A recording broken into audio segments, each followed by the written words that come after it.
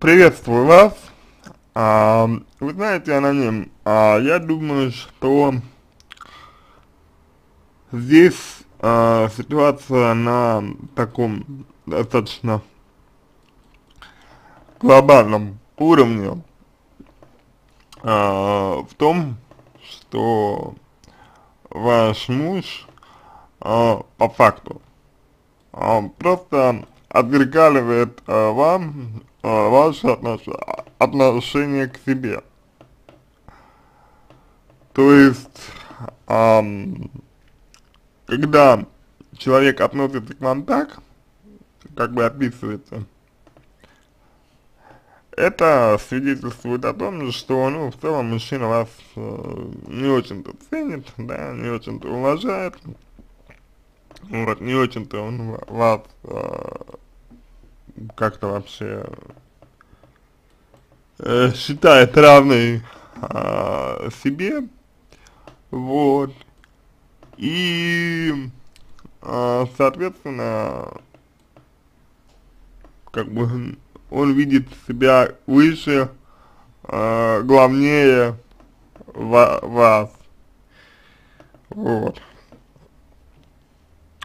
Э, он э, к вам не прислушивается, он вас не слышит, он э, не заботится о ваших чувствах, и он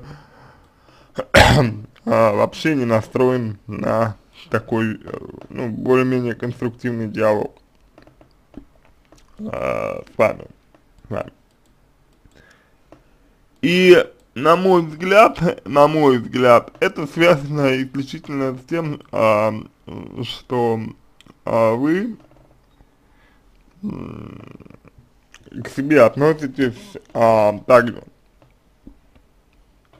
Вы себя недооцениваете, а, вы а, считаете себя ниже мужа, вы не отстаиваете свои интересы, вы не относитесь а, к себе а, с а, самоуважением, вот, и вы не берете на себя личную ответственность за то, что происходит в вашей жизни, в вашем браке в том числе. То есть, а, вы говорите, что вот давайте мы сейчас с вами, с вами а, разберемся, значит, а с пятницы по вчерашний день муж странно ко мне относится а, немного пренебрежительно. Меня это начало тревожить, я очень мнительно. Вот понимаете, а вы здесь а, свою мнительность, вот тот факт, что вы мнительная, а, преподносите так, как будто это, ну, что-то такое объективное да, что-то такое вот нормальное, а что-то такое, что можно использовать как некую константу, скажем так. Но на самом деле это, это не так, потому что это не константа, это проблема, то, что вы мнительны.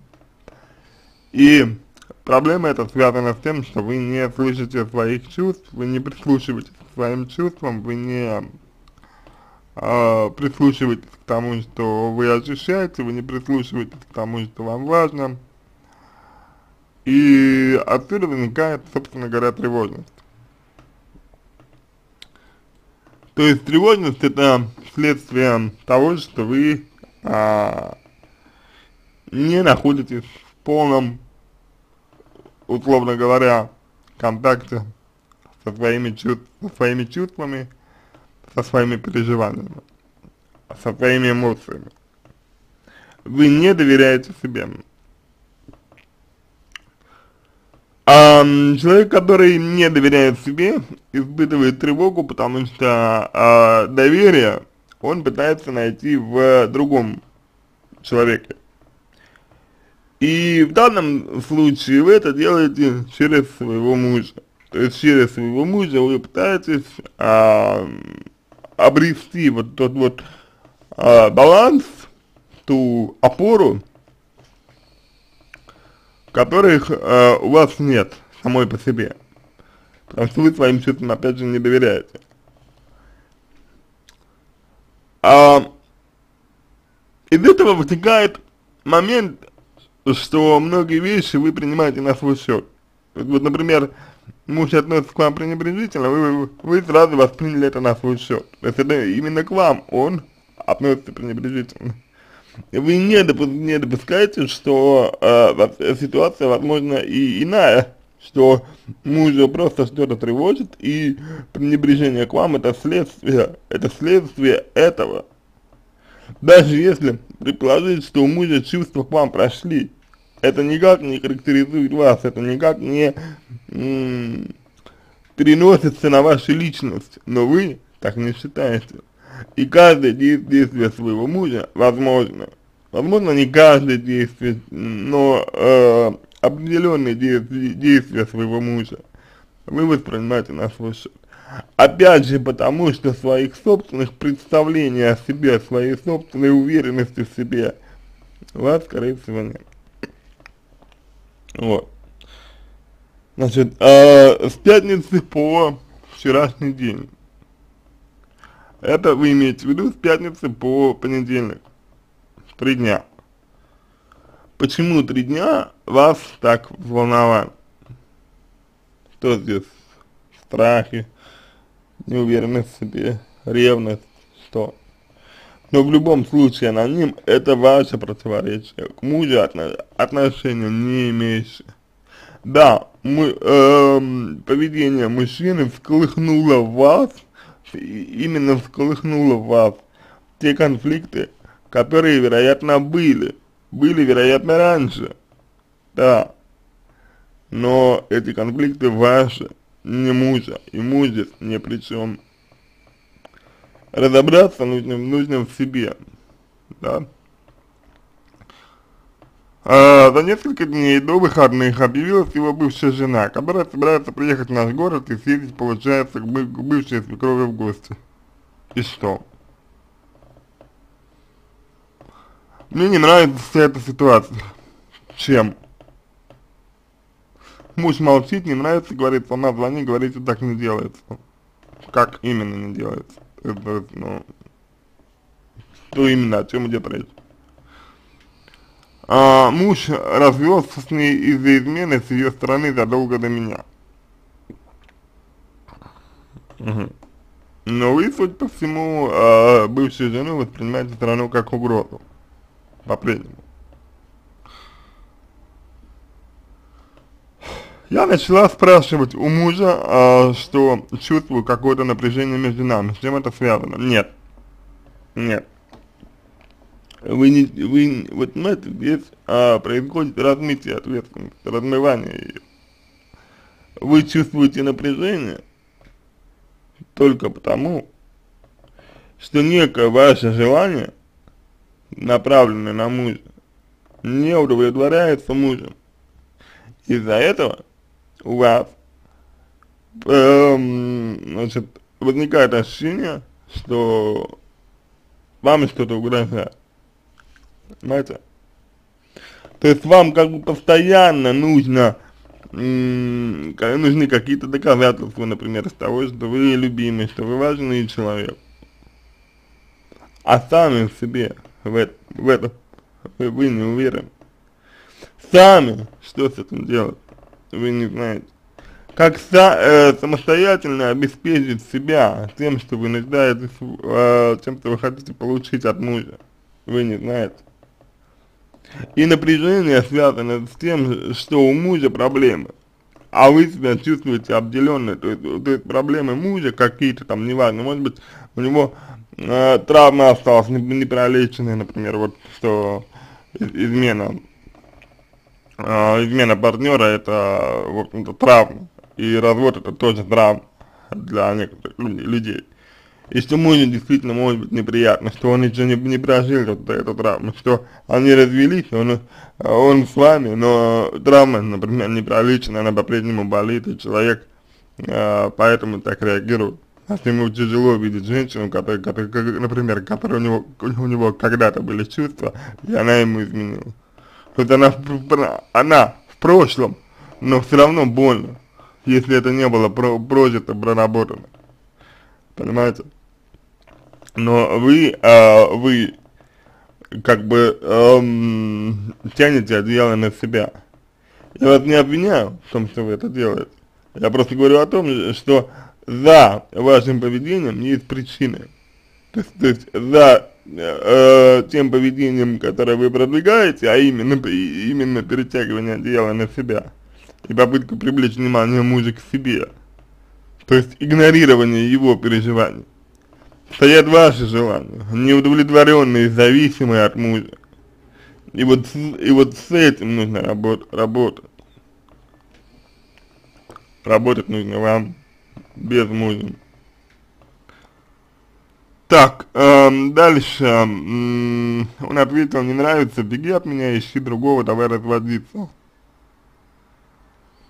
Ну, тут вы как-то вот не описываете, как именно развивалась ваша ссора, почему вы говорили на повышенных тонах, почему вы орали друг, друг на друга. Опять же, опять же, орали друг на друга. Вот что это значит, орали друг на друга? Орали вы, аноним, и орал ваш муж. Это правда но у каждого из вас есть ответственность за то, что он вел себя именно так. Так давайте мы с вами, раз уж вы обратились к нам, возьмем от, ответственность за то, что вы, именно вы, орали на мужа. Не обвинять вас, не критиковать, не говорить, что вы правы или нет, а просто взять ответственность посмотреть, почему именно вы начали орать на, на мужа, почему именно у, именно у вас и только у вас возникли эти переживания, и с чем они были связаны. Также я рекомендую вам почитать про психологическую игру. «Скандал», она есть в интернете, изучить ее, просто, ну, как полезная информация. А, так, мне стало обидно. От чего? Смотрите, обида это ожидание. Вы переложили на мужа э, свои ожидания. То есть у вас э, были некие, некие ожидания, муж эти ожидания не оправдал, и вы э, обидели, вам, вам обидно стало, что он их не оправдал. Вот только вопрос, а почему он должен их оправдывать? Почему он должен их оправдывать? Почему вы сами не отвечаете за то, чего хотите? Это важно. Дальше. Um, так, я сказал, что только трусы так поступают, не решают проблему, а, а разбегаются. Ну, по сути, это обвинение. По сути, это обвинение и оскорбление. Вот тут опять же это перекладывание ответственности, да, потому что, ну, мужчина, он, может, вел себя не очень правильно, но это его выбор, как бы. А вы, не э, отдавая себе отчет, что хотите вы, и что делаете вы, и что чувствуете вы, обида это не чувство, то вы просто начали обвинять другого человека. Он отвернулся от меня, я со злости повернул его, его э, на, на, что вы, на что вы злились. А, он что-то уронил, я уже не помню, за это он всей силы ударил меня по уху и по щеке получилось. Ну, а, здесь, конечно, есть а, есть, ну, физическое, физическое есть воздействие с вашей стороны, и с его стороны, вот. То есть, наверное, нельзя назвать это прям таким вот насилием, да, рукоприкладством, потому что, по сути, вы проигнорировали э, предупреждение вашего мужа, когда он отвернулся, вы сами сами нарвались, вот, ага, нарывались точнее. И я бы сказал, что здесь присутствует мазохистическое поведение, то есть вы хотели привлечь внимание мужа хоть так, с вами хотелось привлечь его внимание хоть так. И для вас вот это вот его действие, да, удар, удар это, по сути, ну, тоже внимание. По крайней мере, теперь вы видите, что вы для него важнее, раз он вас ударил. Вот мазохистическое поведение связано с тем, что человек от страдания получает определенное удовольствие. И подсознательно стремится к нему, потому что считает, что это единственное, единственное чего он достоин, единственный, и, и единственный способ получить то, что ему нужно, а именно внимание. Дальше, э, значит, я начала плакать на взрыв от боли и унижения. Я могу вас здесь понять, но мне кажется, что все это был э, некий определенный сценарий, потому что от какой боли и унижения вы плачете, если муж отвернулся, вы сами со злости его к себе развернули, вы сами начали его оскорблять, сами начали его унижать. То есть, типа, ему не больно, и он не чувствует себя униженным, когда вы называете его трусом. Понимаете? То есть, как бы здесь, э, здесь, опять же, вы не желаете принять личную ответственность за то, что случилось. Да, я понимаю, что это может быть немного жестоко, то, что я говорю, но выглядит все именно так. И я не оправдываю вашего мужа, который вас ударил, я не считаю, что он, что он должен был так делать, я не считаю, что это приемлемо и допустимо, а поднимать руку на женщину со стороны мужчины, но, э, во-первых, э, есть состояние аффекта, вот, во-вторых, человек, человек вас предупреждал, он отвернул, отвернулся, в-третьих, а вы, э, применяя физическую силу сами к человеку, ну, по сути, э, разрешаете ему физически вам отвечать, а в момент э, объекта человек может не соображать, что он делает. И ваши слезы на, от боли и унижения, это, по сути, не желание э, принимать ответственность за то, что вы сами, сами это э, сделали и спровоцировали. Вот. А вы можете назвать это действие неприемлемым. Вы можете сказать мужчине, что неприемлемо, что мой вот мужчина там поднимает на меня руку. Это да. Это, это, это, это, это окей. Это правильно. Это справедливо. Но от боли и унижения, то, что вы плачете, это на самом деле только ваше нежелание принимать личную ответственность за то, за, за то что произошло. Недостаток вашего личного, личностного роста, если угодно. Вот. Потому что боль это потенциал развития, ну а унижение это вы себя унижаете. Никто не может унизить другого человека. Так, он продолжал еще больше орать, что Гетмана ничего хорошего не, не будет у нас. Ну, это, по сути, уже невозможно остановиться стороны, стороны человека, да. А, я просто стал уговаривать его помириться, потому что ненавижу быть в конфликте. Ну, с этим тоже нужно поработать. Почему вы ненавидите быть в конфликте? С этим нужно разобраться. Это не какая-то константа, она не то, что вы мнительны, то, что вы ненавидите быть, быть в конфликте. Это то, с чем нужно работать. Это то, что определяет а, ваше текущее состояние отношений в браке. Понимаете?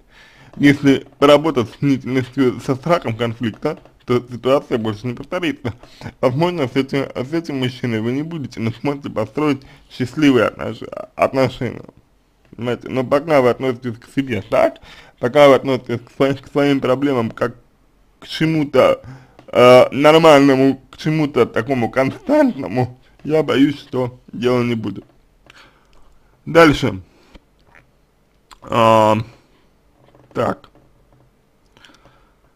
Ага, он сказал, что смысла нет, теперь все будет уже хуже, мы женаты 4 года. Как правильно нужно было поступать, я не знала. Поступать, чтобы что?